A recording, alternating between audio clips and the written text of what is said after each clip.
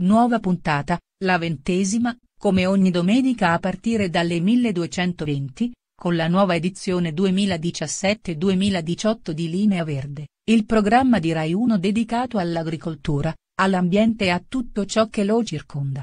Alla conduzione abbiamo sempre Patrizio Roversi e Daniela Ferolla.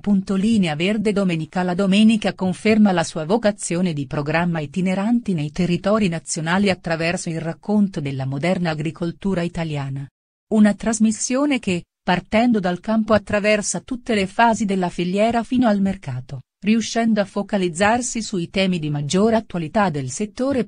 Linea Verde Ventesima puntata 28 gennaio 2018 La puntata dalla 500 alla 1 oggi ci porta in Toscana, in una parte dalla 500 alla 1 Toscana forse meno conosciuta dal grande turismo, ma di grande fascino il Monte Amiata.